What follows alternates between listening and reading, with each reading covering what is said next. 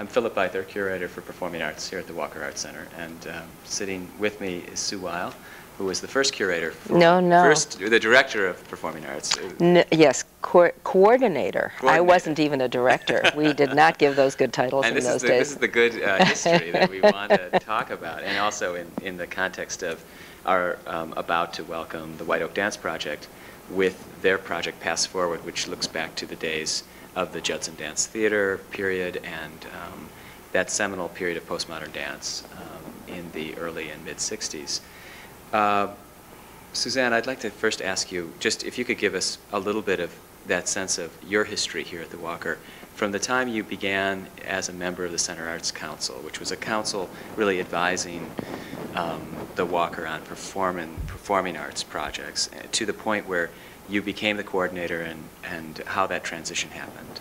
Oh, I'll try to keep it terse.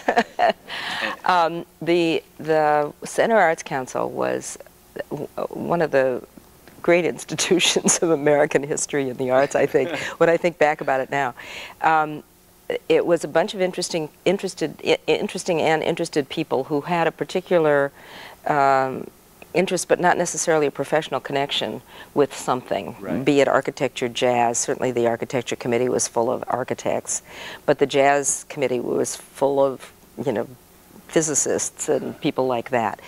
And there was a, a, a music committee that did new music, and the, there were, you know, there were people who would bring Buckminster Fuller here, and the Walker budget gave the Center Arts Council some enormous amount of money, like $10,000 a year to do their stuff, and then they could raise or some, you know, charge.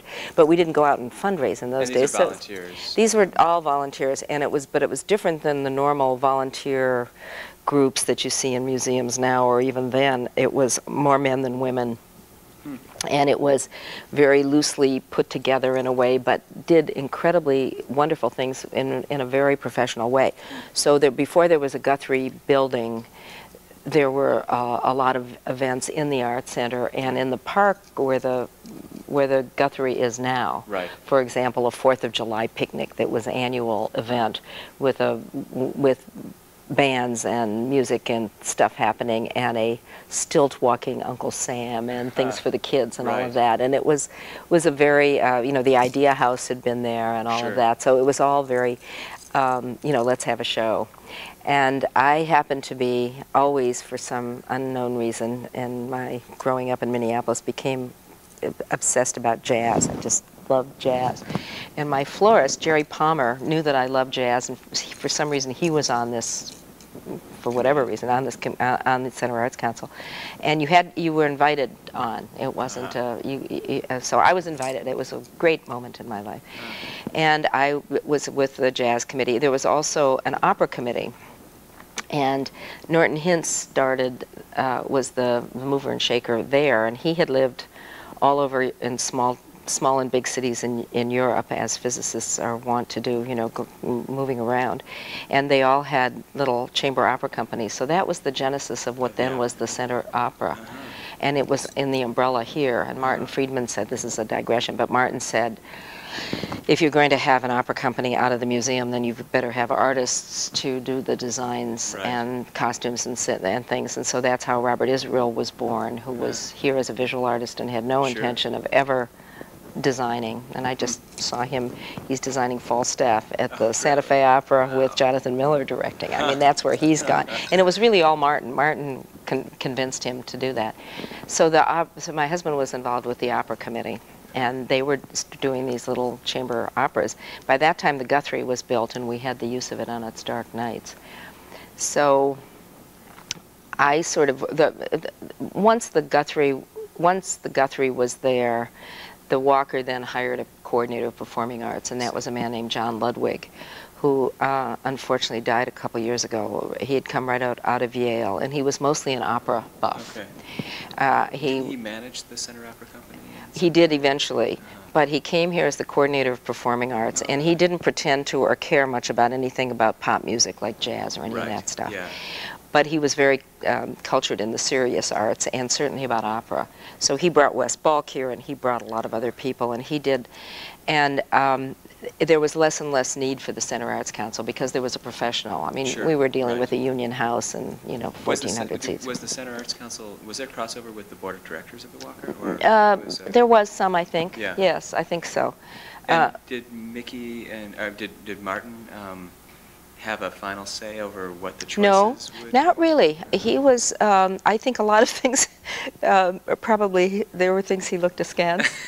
but I think, no, no, and they came to everything, and they, Mickey got involved with the opera company. I remember her sewing during the second act, during the, during the first act for the costumes for the second act. Uh, Uh-huh. There were all these women standing, sitting in the backstage with their sewing machines. I mean, that, that was a whole other Right. story. But when, when the opera company got too big, uh, and, and that's why this is relevant, I guess. When the opera company got too big, uh, it was clearly, you know, beyond what the Martin thought he had bargained for, and it really needed. It was having its own board of directors, so it spun off, and John spun with it. Right. And so there, wa there was nobody. And we would say to John, bring John Coltrane. And he'd say, who's John Coltrane? And Right. we'd say, just bring John Coltrane. and, and that's how uh, the, we did the jazz concerts. And, wow. and I had gotten this to be head of the jazz committee or something. And then I was president of the arts, uh, the Center Arts Council, which was a much dwindled organization Uh-huh. by then. And so one day out of the blue, Martin Friedman called me in and said, how would you like to run the performing arts now that John's left? And of course, there wouldn't be an opera company. You know, come a couple Right. days a week and we'll pay you by the hour. Huh. I was totally stunned. It's 1970? This was 68, end of 68. Uh-huh. And I was still going back to school and all Right. kinds of stuff. And uh, And was it from the public's point of view, or from your point of view even at that point, did it seem that performing arts had an important place at the table at the Walker? Yes, I think it always, um, we all took the art center part of the title. It was not the Walker Museum, it Right. was the Walker Art Center, and we knew that. And it had had this tradition of, of I mean, of, of people coming and, yes, poetry readings. And even when artists were brought here, when Duchamp came, it Right. was, there was a sort of element of performance in Right. some of those talks. And Martin has a great sense of theatricality and showbiz and loved all of that. So when we were doing, you know, these wonderful concerts, even before, I remember a symposium that the Center Arts Council did called Making Theater Seats More Uncomfortable. and I think Richard Schechner and uh, all kinds of people came and there um, and the Firehouse Theater was there, and they did a little performance piece before this symposium broke for lunch, where Sidney Walter, who was then the head of it, took all his clothes off, and um, was body painted, and his people served apples to everybody in the audience. You know, it was that kind of happening. But that was way before. That was in the mid '60s. Uh-huh. So there were Uh-huh. things like that going on, and I think Martin, you know, got got a kick out of it, and didn't want the tail to wag the dog, Right. because you know, seriously, it was a place about visual arts, Sure. but it was it, it always had a place at the table. Did you, it seems that the program then, from the time you were, began as, as coordinator, um, really in some ways took off in terms of the scale of it and the amount of activity. I look back at, in wonder at knowing that you were mostly a one-person staff. Um, I showed you this list of programming in this 73, 74, 75. There were um, well over 100 events in a year, Yeah, concert, yeah. and, and a, whole, a wide range of programming, concerts, dance, performance work. How did you, um, how did you develop the program, and how did you, um, how did you manage all that programming with with a small in a small uh, staff or no staff? No staff, actually no staff. I finally got an intern after a while. Um, w- but that wasn't exactly true because there were the bookkeepers who did the Sure. bookkeeping, and there Right. was the design department that did the Right. design stuff. And so, I mean, I didn't And have to deal with it. There was a technical staff, and the museum took care of all of that, and, and or the art center. And so that was, you know, I, I, I, and all I was expected to do was break even at the end of the year. I really didn't have a budget, but I did have the use of the Guthrie on without without rent, I think Uh-huh. on its dark night, and if- I think our tickets were 650, 850, Uh-huh, things like right, that. right. But I was able to bring, you know, the Beach Boys and Miles Davis and, and Elton John, and my t- first two concerts were the Led Zeppelin and the Who. Right. And at $2,500, I paid the Led Zeppelin. The Who, I paid 4,500 because they had just, from the time I booked them at 25, they came out with Tommy. Oh, and they said, you know, we think it's going to be a hit. Can we do two shows? And, uh, and I paid them 4,500 and picked them up at the airport and, you know, had them back to my house afterwards. And, And you know, it was all simple. did you have any time. trouble with? Uh, I mean, at that point, there, oddly enough, there didn't seem to be as much a distinction between commercial, say, pop music. No, not at all. And Right. art, Right. art-related Right. performance or Right. dance. Um, did no one said, "How- "Why is the museum booking a big rock band?" Because at that point, They were- sort of the edge of. yeah, they, they music. weren't they weren't necessarily making lots of money yet in those days. Yeah. And I think that the other bookers of um, rock and roll Right. were not happy, some of them. Uh, but because a nonprofit was. Yeah, yeah. that, yeah. But we were taking that money and recycling it back into to Meredith and Mabou Sure. Mines and Twyla Right. and Yeah. Merce and John and all that. But there was um, one of the things that I I, I I had no system at all. I really it was it was really Mickey and Judy. Let's have a show. I mean, somebody would call and say so and so is going to be coming through between Chicago and somewhere uh, six weeks from now. You want them? Yeah, let's Right. do that. As the guy, I'd call the Guthrie and find out if the date was available. Right. And you know, we'd get the tickets printed and there'd be a show. Right. And uh, it was it, it, it was amazing to have things happen so fast. I mean, we did very little planning ahead. I never sat and budgeted much out. Uh, mir- uh, some miracle. curatorially over these choices? Like, No, oh, not usually. I, I, uh, I learned from Ellen Stewart something where she said the beeps were right. I had, Right. I, I, I don't, I really don't know much, but I have really good beeps. Uh, I have a very good gut, so I went with that. I, element, I did. I just, uh, I, I saw two little words about Johnny Winter when he was just starting, Yeah. and I couldn't find him. He wasn't booked by anybody. I called Bill Graham. Hi, I'm, uh," and he, he told me later when I met him that he said he put the phone away like this, and he said, "Should I tell her or shouldn't I? Is she a good person or a bad? I'll tell her." And he and and he did, and it was just uh, um, one of the things that I had, the best thing I had going for me uh, um, to make. This is mostly about the rock, but other stuff. There was a really smart bunch of people at the Electric Fetus. Uh-huh, right. And my God, when I was invited in the basement to smoke dope with the, guys of the, I mean, I was a suburban housewife. Right. It was, it was my great moment. And they had their finger on the pulse of They knew uh, exactly what was Right. going and what was coming up. There were people who worked here, uh, there were artists who were guards who also had, Right. Christopher Finch was here. He had just come from London. He knew. Right, Um, there was um, the artist that came through. right. Um, it was, it was. Visual artists as well as. Yeah, oh yeah. Dancers. Yes, yes. And I mean, I remember Bob Israel was the first person who told me about Phil Glass. Uh-huh. And then Phil Glass told me about Mabou Mines because Right. his wife then was in Mabou Mines. And I went over and, and met Joanne and Lee Breuer the first time. Oh. And I, you know, and I went to see something they did at either the Whitney or the Guggenheim. And they were sort of sponsored then by La Mama. And Ellen Stewart came out. And she's one of the forgotten people of Yeah, no, of uh, of the performing arts world. I think and it breaks kind of breaks my heart. Yeah. Um, she was great. Nobody would have come to see Mabou Mines if it hadn't been that Ellen Stewart was bringing them and going to be there and ring her bell, because Uh-huh. that they've heard of, oh. but they hadn't they heard know of. La Mama's name. They knew La Mama, and they didn't know anything. Mabou Mines had just moved from France. They hadn't. They didn't. They had done a couple things in New York, Right. and you know that was all. Hmm. So I had that, and the other thing was when I was in New York a, a couple of times, Martin um, was there meeting with artists, and he would invite me to the artists' lofts Okay. with him, and I would go look at the record collections because I felt always very strongly that the that the music music and performing arts had to be in line with what the museum did on the walls Right. and on the floor Yeah. because um, I ha- if there was the one thing I know I brought to the job was a real reverence for this place. It was the oasis of, I mean, I got married in the early 50s, and Minneapolis was not. Um, it- was always better than most cities of its size, but it was pretty dull. There wasn't Yeah. much going on here, and the whatever whatever was lively was happening here at the Walker. Mm. And so, uh, you know, I brought my child here. I mean, it, it was it was uh, it was the oasis, and I felt I had a sense of what was Right. So John Denver lived in Minnesota for a while. He wanted to perform at the Guthrie more than anything. No way for me, for the Walker. Yeah. So the Guthrie brought him, which was Right. appropriate. Uh-huh. But I, I mean, there, I, I did have a sense of that. So yes, Frank Zappa, but no, Right. you know, somebody else. Yeah, right. And there were people that we brought every year, like Zappa or Miles Davis, the people that I thought were really seminal Right. in their field that Sure. matched in a some kind of, at least correlated some way with the other. Can you tell me about your first experience, I mean, your, your involvement then with dance? Um, Oh, those were.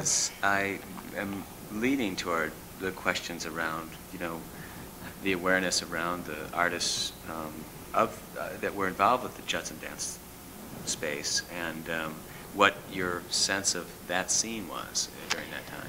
Well, you remember that the Walker was going to open in 71, Right. and um, they started to tear the building down at kind of late 80, 68, and that's when I started. So we, as uh, you know, as you know, I we did things all over the city in that period. Both the visual arts and the performing arts were spread out everywhere, and it was uh, certainly the highly political time and the breaking the rules time and all of that. And I wanted, I kept saying I wanted to make a statement with the opening show or the opening uh, uh, of the of the the opening events. We did many, many, many things. Um, uh, I had, uh, well, to backtrack, those were halcyon days in the dance world, and I started to book dance right away because the dance touring program at the National Endowment for the Arts, which was the best thing the National Endowment for the Arts ever did, was this wonderful program, and there was a huge list of people who were eligible for subsidy. And if you booked them, um, you would get your, I think the fee, there, there were there were two things. They were to try, of course, dance companies don't have homes, so they they're on the road, so they need they need help getting on the road. Number one. Number two, they wanted to get away from one night stands. Right. So you could you could book for no less than a half week, which is two and a half days, or for as long as you want. I mean, we brought Right. Tharp for a month Oh. with the subsidy, and then the states, almost all the states, joined in. So if one of them was subsidizing a third, the state might be subsidizing a fourth, which meant that the outlay was very small. I mean, you had to take care of all the costs once they got here. But that was enormous incentive. So Hmm. I wasn't any more interested in dance than I was in theater or music or anything. Right. But I but it was so much easier to bring dance and of course and, and dance was bubbling up. Sure. But I think that I think that it was synergistic. I don't I don't know if the bubbling came Right, better than sure. that what how that happened. Do you remember what some of your first dance commitments were? I think that Merce, I think that John had already booked a Merce. We always did. Merce had been here many times, and Yeah. and Merce came here in the Volkswagen bus days. Uh, at, to the we talk about this a lot to the Women's Club, Right. which has a stage about the size of these two chairs, you know, and In perform. I think. I th- I, whenever, and. I just remember that a friend of ours called and said there's this thing happening, and I had vaguely heard of him, Hmm. and um, we went to the and, and Rauschenberg was doing the sets and knocking on the had knocking on the walls and doing sound pieces that way, and I just remember saying. I don't know what this is, but whatever it is, I want some of it. I mean, I just, I, I, I, I can't believe that now I, you know, I work with Merce, I'm vice chair of the board, and Right. we've worked together a lot over the years, and we've become very good friends. And, but that was the turning point in my life, I think. That was what really, and I don't think the Walker had anything to do with the bringing of him then. They, no, in fact, there's this letter at the opening of the uh, ex- exhibition, Art Performs Live, Merce's section. Mhm. Dernberger, is that, who was the director of the Walker, or, um, before Martin? Um, uh, no, um, but I can't remember. Well, the director then had a letter from Merce, um, typewritten. yes, um, I've seen that. Saying, you know, we, a friend of mine, John Mhm. Cage, and I would like to come and perform at the Walker. Right. He, he had scribbled over it, you know, we don't do this kind of thing. Right. And then right. right next to it was a letter, uh, three years later or whatever, from Martin, you know, basically welcoming him. Mhm, um, And it mhm. was in that early Yes, 60s. Martin. Uh, Martin got it right away, and I, I wouldn't be a bit surprised if Sage had something to do even back Uh-huh. then Oh, with uh, with it coming to this. Right. Uh, I, she's never, I can never pin her down Yeah. about it. I've asked her, but I, I wouldn't be because she knew him back when she was a dancer Oh. at and at the University of Wisconsin, and Right. And he tells about seeing her the first time that he saw her in a cute hat and what how gorgeous and you know. So they they've had this long romance which is so nice. Um, so we started um, um, I had I I knew a little bit not much and I hadn't seen much um, about the, the, uh, Yvonne was the first one I really knew anything about. And Merce was here on a residency, and I was driving downtown, and Valda Setterfield asked me if she could ride downtown with me. She was going to a movie. was a dancer with. She was a dancer with Merce's company, and she's married to David Gordon. Right. And David was one of the original Oh, people sure. Right. and will, will be all involved in, in your residency sure. because he directed and wrote and Right. through there's three pieces I think of his in the in this evening and she I said to her do you know how I can find Yvonne Rainer and she said well my husband dances with him, with her and I thought this exotic creature has a husband oh my god and so she put me in touch with Yvonne. And Yvonne was then, it was called Yvonne Rainer and Dance, Dancers. And it, Maybe 67? yeah, this would have been about 68, 69.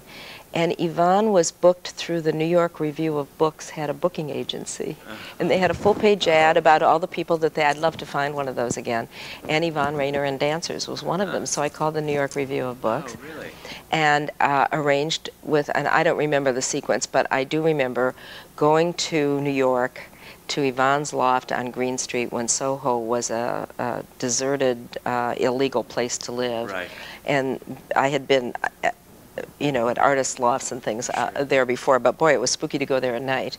And Yvonne and David and I think Trisha and several of the grand, the Grand people that became the Grand Sure. Union were there to talk about coming to the Walker for the opening in 71. I kept saying to myself, this is the statement I want to make, because I knew they were breaking all the rules. Right. And, and then, there, then there's the terrible endowment story about them. Do you want to hear that? Yes, of course. Well, and I have to ask you, uh, before, well, no, you tell me that story first, then I'll. tell Okay. Well, what happened was we were getting subsidy from the NEA and from the State Arts Council. And uh, they changed the name to the Rio Grand Union and then the Grand Union. And we, we went through all of these. And the, I would sit there with them with a clipboard. I was such an idiot. And they would say, no, Yvonne would say, I need 100 red rubber balls. And I'd say, okay. and David would say, I need 14 old men's raincoats. And I would say, okay. And they, they said they were so astounded. You know, they thought, who is this woman? She's, She's actually know, gonna do this. And I did. I killed myself. And, um, but before they came, there was this rehearsal at the Smithsonian. This is a famous piece of American performing arts history. There was some kind of a, a, a showing. I, I think it wasn't even a pu- public showing at the Smithsonian. At this is the height of you know the Vietnam Washington. stuff in Washington. And Steve Paxton took his clothes off and put himself into a flag, or maybe they all did Yvonne's flag piece. I don't know, but anyway.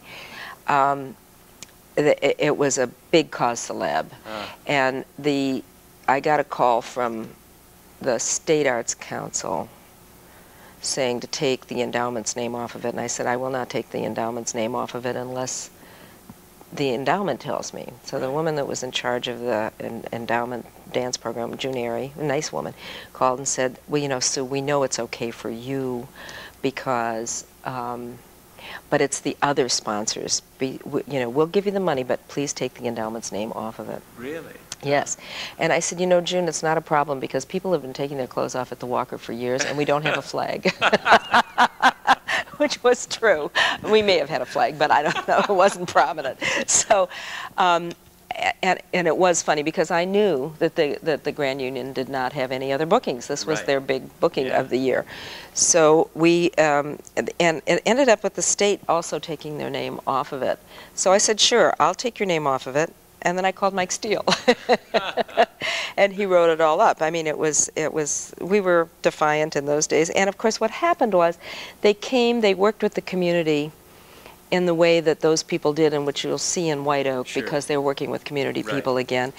And that was such a, it was done in not in a gratuitous, we've got to please the foundation that's giving us money by Sure, involving the community.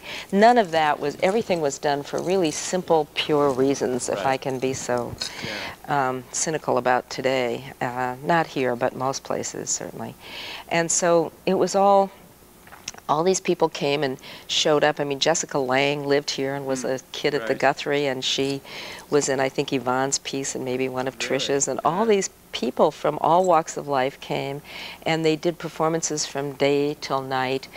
There wasn't anything that could offend Jesse Helms that they did, Right. and it wasn't because they were watching themselves. It was just wasn't what they were doing Sure. then. I mean, they Right, and they right. they all did works all over the city on the lakes and Loring Park. There's some wonderful photographs of people on barges that Trisha Brown did. Right, sure. And um, uh, there was a guy from Sh- San Francisco that nobody, I've never heard or seen since, named Dong. I don't know where he came from. He Uh. was a friend of Yvonne's. So it wasn't just the Judson people. There were a bunch of other people that came a- as part of that group. But But among the Judson people were Trisha, David, Yvonne, um, and many of the other people that you're going to see with White Oak. Right. I had never seen perform right. or didn't really, I knew about them, but I would say that most people had never seen their, their yeah. work. Well, there's a, to go back a few years, there is, we were digging in our archives, and we found a letter from John Ludwig, um, a number of letters to Steve Paxton in Uh-huh, the uh-huh. mid-sixties. Right. And then, and it was about perhaps Mhm. back when they were still sort of under, working under that rough name of Judson, Mhm. of maybe, there seemed to be some interest or exploration about mhm. their coming. Um, and then someone from the Walker, it might have been John, but clearly somebody went to see Nine Evenings, the Mhm, technology mhm, mhm, dance mhm. collaboration. And there's a very interesting letter from John saying we were really disappointed in the evening. Oh, and yes? that, Oh, uh, yes? we felt like the technology and that the um, the apparatus and and uh, the lack of production and also the, even the promotion really didn't serve you well. And we you know we re- want to stay in touch with you, but let's look to future things, something Oh, else. how interesting. And, uh, and I didn't, you know, it, so that was our, first, because I specifically asked our, our archivist if, you know, what our history Mhm, was with the mhm. Judson era dancers. And um, then that led clearly, uh, I mean, that was one point in time which had its Mhm. own close. Mhm. And then within a few years, obviously Grand Union developed out of um, Judson. Um, Right. there seemed to be a break of a few years where Yeah. people went off and did Yeah. their own thing. Yeah, I think so. things.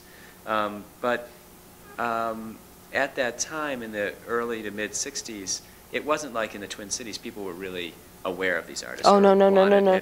Read about them. People weren't them in New. York very much. It was still a very small coterie of people, and, and you know there and uh, you know there were many many visual artists as well as performing artists involved in this because visual artists in those days were performers too, like Rauschenberg and Whitman and And Jasper Johns. Mo- Morris and Johns, and they were Right. Johns and and and uh, Rauschenberg were part of Merce's company, and then they all did performances together, and a lot of them were married to each other in those days. Right. So um, Simone Forti was married both to Robert Morris and to Robert Whitman at different Oh, times. really? And um, th- th- you know they they were and and I think that they all performed together. So they were they were sparking off of each other Right. the, those worlds, and it was a very you know interesting yeasty time. And I I'm not even sure who all the rest of them Yeah. were that were doing this, but those Right. are the names that come to my mind right and away. In 1971, when the new building opened, um, your invitation for them to come, the idea to do more of a residency rather than Mhm. just come and let's see Grand Union perform. Right. That seemed to be that, and in '75 when you had them come back, seemed to be, at least from how I've s- followed history, kind of ahead of its time. The idea of, you know, it's not just going to be uh, a three-day residency. You're Right. going to be here for two weeks doing Right. stuff all over town. and Right, Everybody gets right, a chance to do their own right, performance right. pieces. How did you construct that? or- Well, we had when we started to, to do the dance touring program. Uh, We started to work with the schools. We started to work with the university, such as it was in those days with the dance Yeah. program and so on, and with other dance companies, with Lois and whoever Nancy Hauser. want Nancy Hauser, whoever wanted whatever, and we would kind of give the pros first pick of having the people come over and, and see, when it was appro- the appropriate people and the appropriate time. So we had that that kind of modus Right. to work. But but for the Grand Union, uh, uh, they pretty much. Uh, I- I don't remember specifically with them, but with everybody else, I had a grant from the Bush Foundation that subsidized uh, the the program, ma- the making of new work and that Right. sort of thing, which was a wonderful thing. And one of the things that allowed me to do is bring the choreographers uh, or the theater person or Right. whoever to come to Minneapolis ahead of time, uh, maybe a Oh. couple of months before. You know, we did things on a short leash, Sure. um, and look all over Oh. to and and pick their spaces Huh. and pick what they wanted to do and meet some people before. So, for example, one of the things I'm proudest of was we were doing um, uh, we, I think the first Twyla Tharp residency. She was going to do the 100s, and she needed to train 100 people in the Right. community. And uh, so I took her uh, all day. You know, she's impossible. We went everywhere, and she didn't like anything. And then we went to the old firehouse, which is now the Firehouse Theater, which was an abandoned firehouse. It had a, a hearse or an ambulance inside of it. It was filthy. It was a mess, but it was owned, owned by a woman named Gloria Siegel, Uh. who was a on the city council either then or later. And she was going to make it into a Chinese restaurant, I think. Right. It was going to be, and it, the university had really just been in the process of expanding over to the West Bank. So I called her and said, Can we have it? I mean, Minneapolis was like that. I called Naegele Outdoor and said, Can we have billboards for Merce? And they said, Okay, you know, and so we had billboards. I mean, we were just, it, people were so people were open and uh, and not afraid of anything. So we did um, for for Twyla, which is now what you're asking about. But we opened. They cleaned it up for us, Yeah. fixed the locks on the door, gave us the key, and then when when uh, what, Jack Reuler, who Yeah, I'm right. actually distantly related to, came to sh- from Chicago, Yeah. uh, I said. Go get it before they turn it into a Chinese restaurant. I was really proud And of that. now Patrick's Cabaret. Oh, it is. Yeah, Patrick has moved his space to the old where the old firehouse. Is. Well, I thought that was where Firehouse Theater is. I Oh, mean, not the Mixed Blood. Firehouse. I mean, Mixed Blood. I mean. Oh, that's the fire. That's oh, that okay, firehouse. That firehouse. That There's another firehouse. firehouse down Uh-huh. on Lake Street that was also used. No, this was this was the one that's Okay, Mixed Blood. right, sure. anyway, so we did we did these. I suppose it was ahead of its time, but then because of the dance touring program and because of these residencies and because you were encouraged to have community involvement, Right. we we were we were into the that Hmm. swing of things. Do you remember any? Um, David Gordon is quoted in Sally Banes' book about the Walker residency, how important it was to Grand Union the, the, in '71, how, but also how difficult, um, yeah, th- that how new they were to get going out of town. Do you remember things about? Oh yes, oh yes. Uh, we had a big house. Uh, I mean, but not that big. But we had a, a, a big, big, big enough house in, in the country in Minnesota, and we had land, and there was places for people to spread out, and so and there was no money to house them really. So they all stayed at my house, um, and uh, it was wild because they were having such a good time. Some of them decided to stay a second week, and my husband and I went to Chicago. And after that, we devised the five-day rule. You can come for five days, Right. the first five, the second five, but uh, but not but not all ten days. Right. It was just too awful. and um, and and they were up.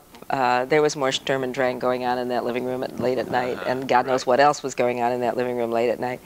Um, while they were dealing with their various angsts and uh, Right. and I'm sure collectives, competitive thing. you Oh know, yeah, are difficult. As, and Right. there's such so many.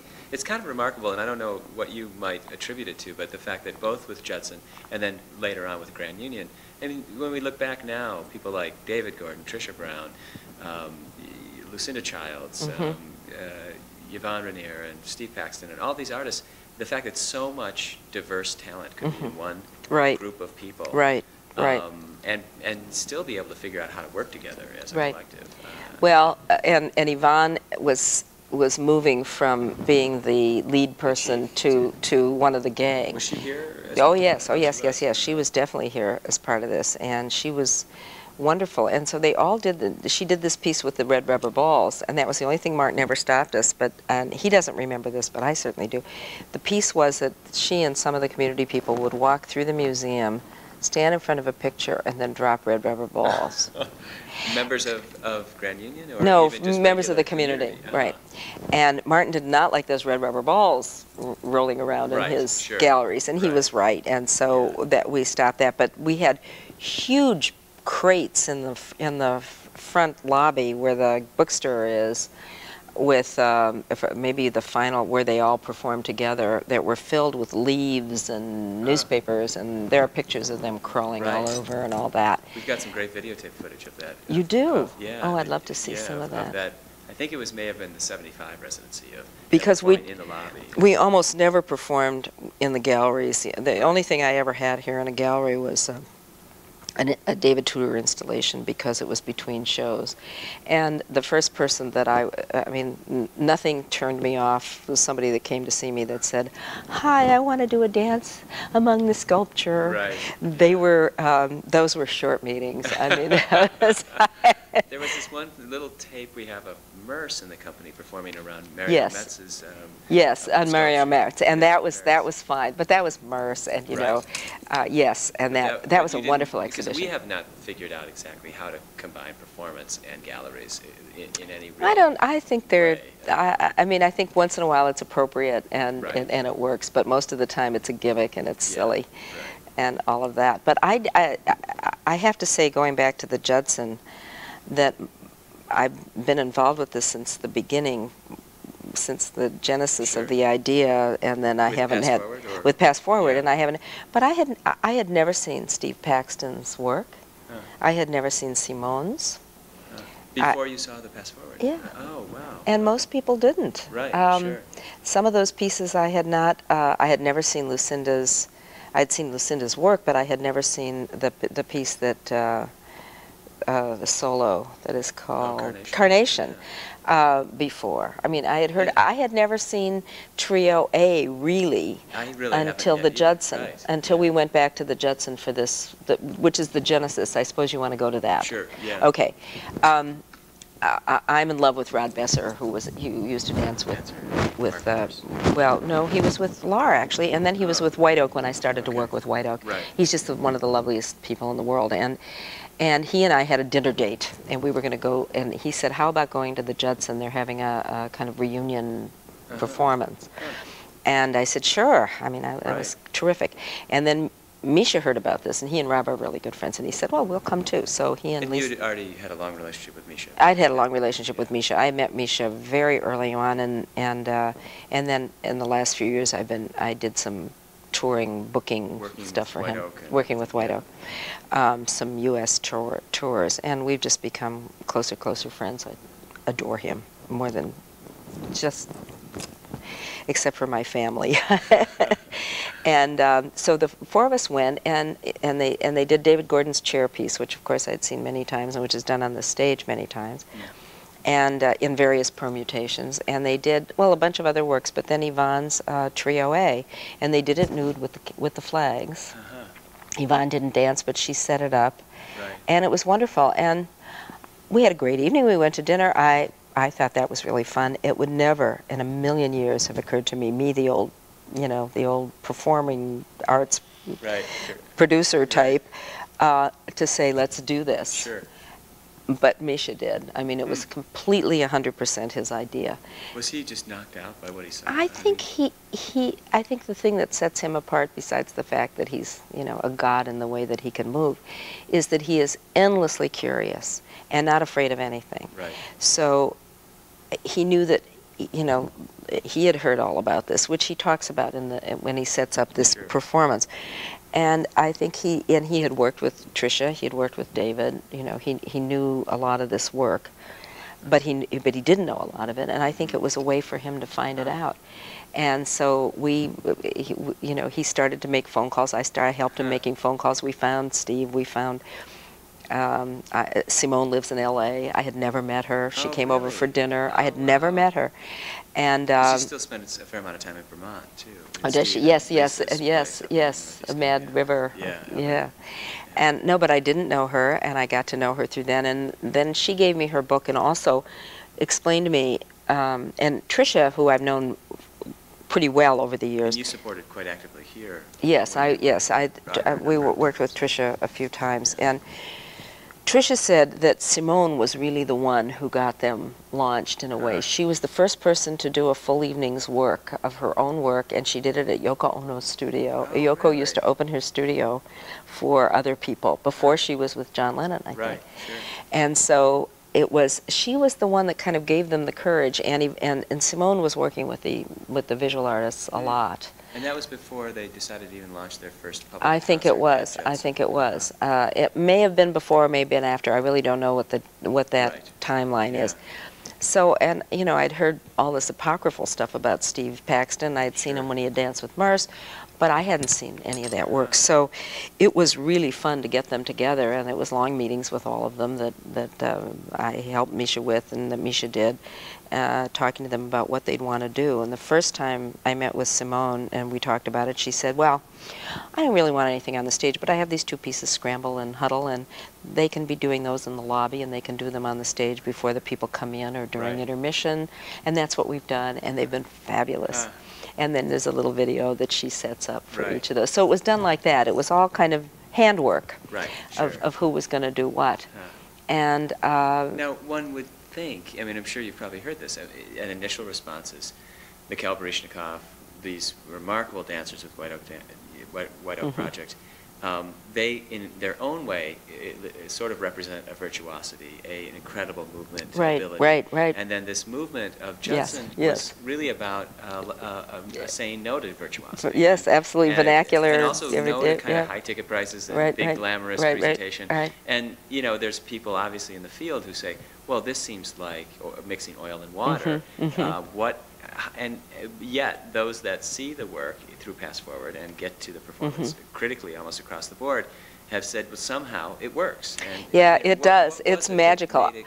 Or- And did you have your own doubts about it? when Well- You first thought, well, Misha maybe isn't the dancer to do walk across the stage, you know? No, I I- because I've I've watched Misha do, you know, I've I've I don't know how many performances Right. in the years that I've been working with them and and just seeing them.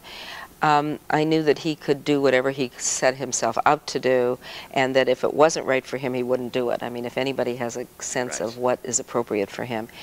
And the the thing that they have that White Oak has, which is a, a real luxury, but first of all, they have the use of the White White Oak Plantation, Yeah, which has a yeah. and that uh, Howard Gilman's wonderful Yeah. place in Florida.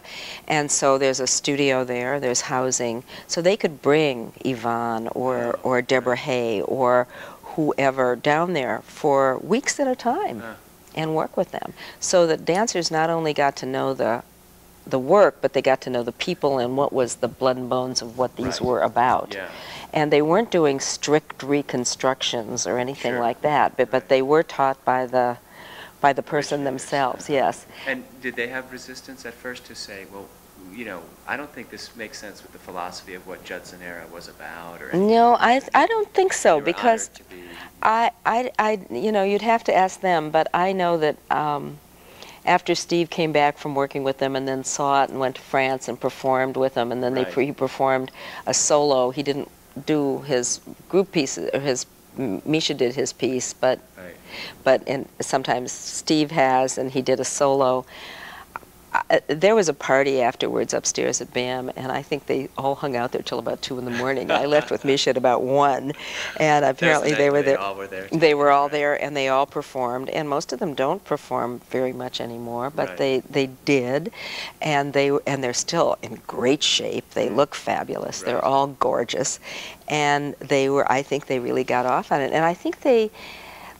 I don't know, I shouldn't say this maybe, but I think they're more at peace with each other now. I mean, there's been a certain, you know, philosophical, Differences. opinion, yeah, different differences, jealousies, who knows? You know, it, that just happens. But they were they were wonderfully supportive to each other Yeah. there, and I think they all just got a big kick out of it. And it was, I mean, I, I was in tears. I think everybody in Yeah. that place was. And some of the dances do require virtuosity. Um, uh, uh, a, a lot of them, Right. uh, doing David's chair piece and Sure. doing um, uh, Yvonne's work and uh, Lucinda's um, concerto, which is so gorgeous and that ends the program. Um, but they, I think, And how is? the, it's it's about pushing yourself. It's about trying something new. It's Right. about, And has audience re- reaction uh, been? People have kind of come to um, this era and these Right. innovations now. Well, I think that it, it, it because it's been so well set up. Um, Right. I learned something when I left here and when after I left the NEA from here, I went to PBS and I learned uh, something that You were, you were, in- you were involved with great, I mean, you were running. um, No, I was- I was- uh, no, I was senior vice president for all of of all programming. programming, yeah, right. yeah. No, I was kids and documentaries Wow, and news okay. and all that. And I was there for 11 years, and it was. Uh, I started with arts and arts and humanities, was, Right. but after about two years, I became the head of programming. So I learned a lot about a lot and a lot of stuff. And one of the things I learned from, from um, one of the people from Chicago was that you you assume that the audience is very smart and knows nothing Right. and uh, and I think that that's a very good rule, even in the performing arts. It would be so unfair to burden an audience with this material without giving them some of the tools Right. with which to look at it. What would, as as I remember, my one of my uh, the things that I remember about being in this building and trying, you know, we were pushing the envelope b- everywhere Right. was that one of the reactions that was so difficult for people was that they were feeling that they were being put on. Right. You There know, that- a over. Yes, exactly. That there was an in crowd that this was for, and that they were being laughed at because they didn't get it. Right.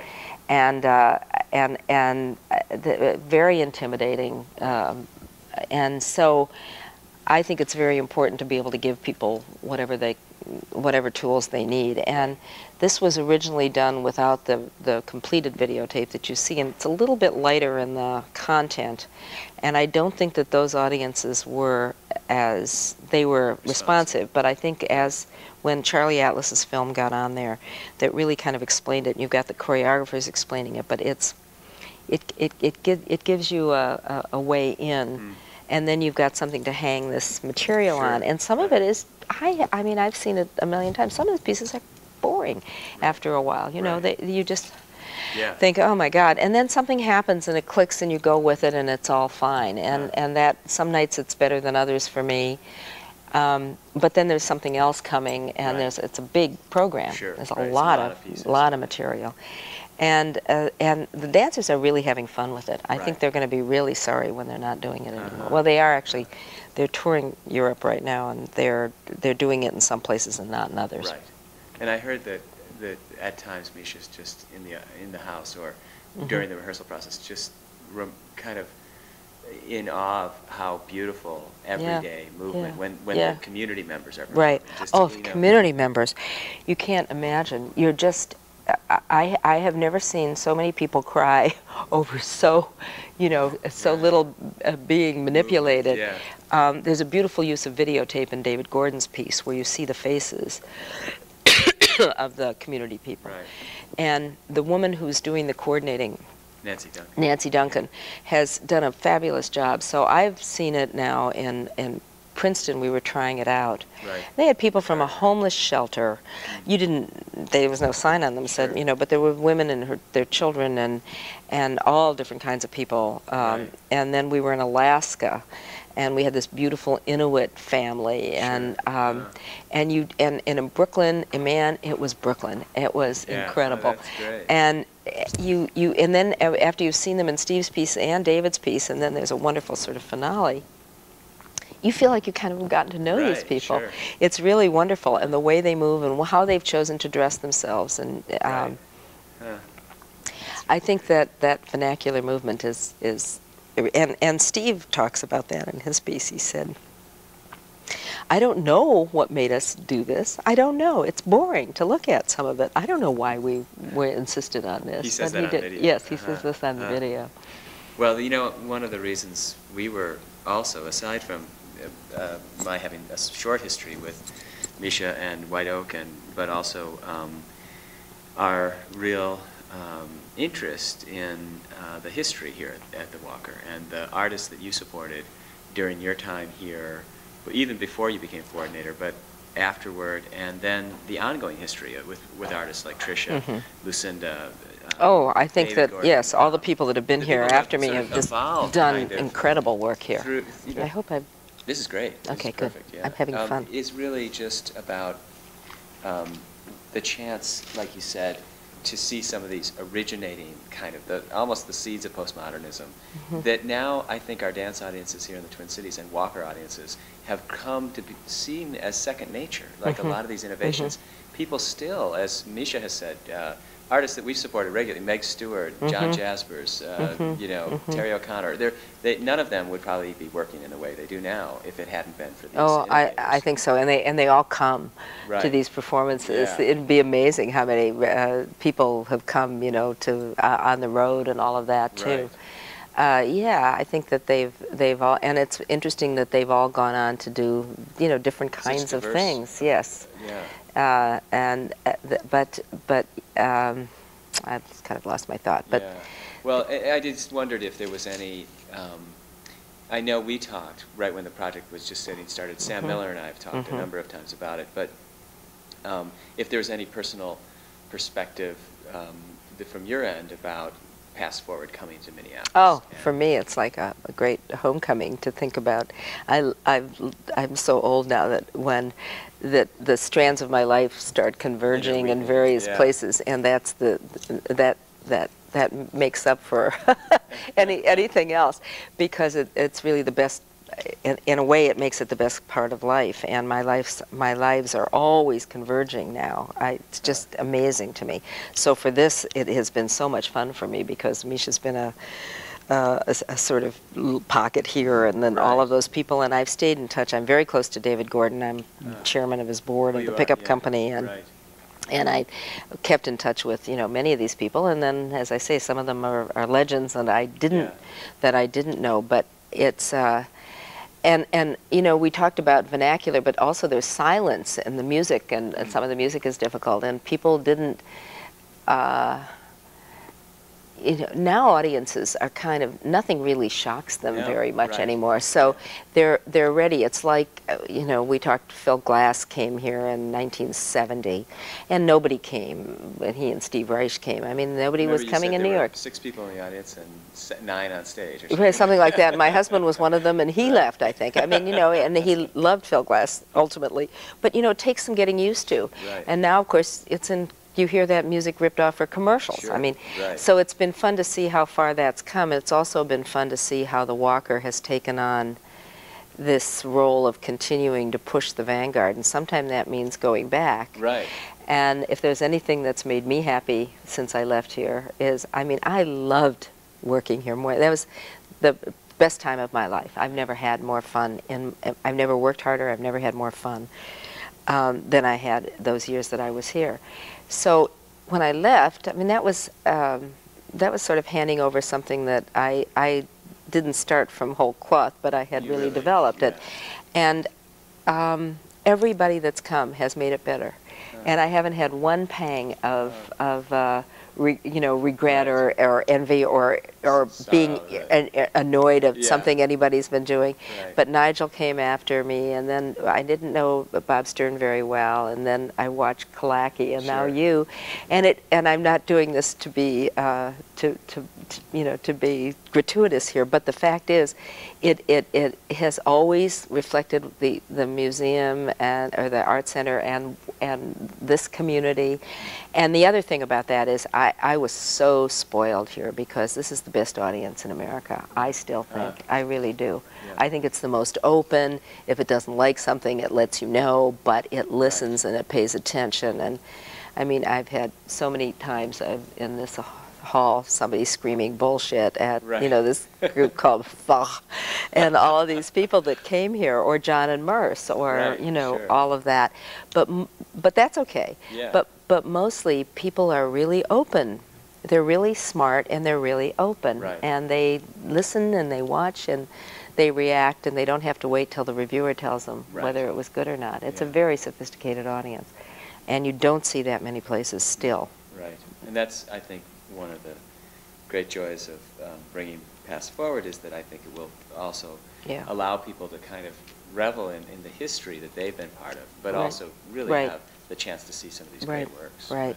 Because having worked with Misha as much as I have, I mean, there's there's a lot of people who, even though no matter how much you tell them that he is not going to wear boots and Right. you know leap onto the stage Right, yeah, anymore, um, that that they that's what they still want. You know, they want Giselle or something, and so there's always a there, there's a certain group of the ladies I call that got to see him once before they die people, Right. and and that's not who's coming to this. No, yeah. It's a very it's a very savvy audience, Yeah. and and and I think it, one of the things that makes it successful is that he's having so much fun. I Mm. mean, that just Is that comes through. Oh yeah. Yeah.